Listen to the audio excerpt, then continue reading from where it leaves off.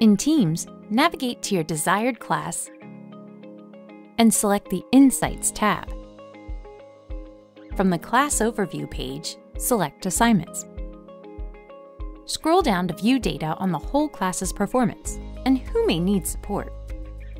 Choose Progress Status to see if assignments have been viewed, turned in, returned, or need revisions. Selecting yellow or red sections allows you to help students get on track. Select Grades to view average grade by assignment and which assignments still need grading.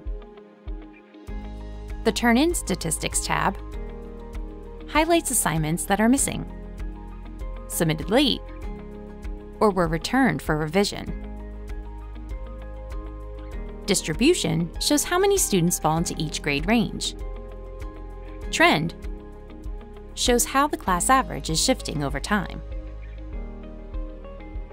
If you use rubrics on Teams, they will appear in Insights to help identify where students are excelling or struggling. At the bottom, you'll see an overview of each student's work and grades. Use the Assignments filter to get more data on a single assignment. Data includes how this assignment compares to the class average.